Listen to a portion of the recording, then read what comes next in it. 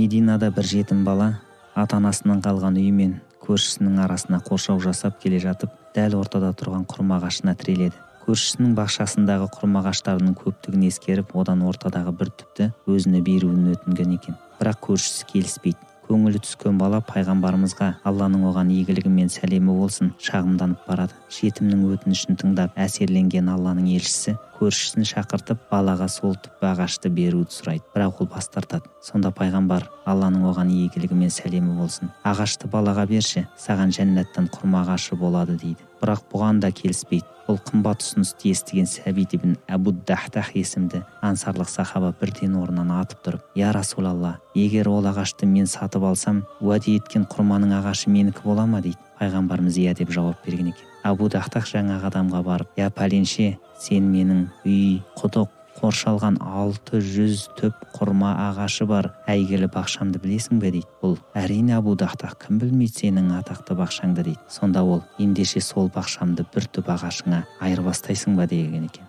Сәл кідіріп бірден келісе кетеді. Қайтып келіп жетім балаға қалаған ағашың енді сенікі дейді. Сахаба пайғамбарымызға кейін жақындап келіп алланың елшісі енді менің жәннатта құрма ағашым бар ма? деген екен. Сонда алланың елшісі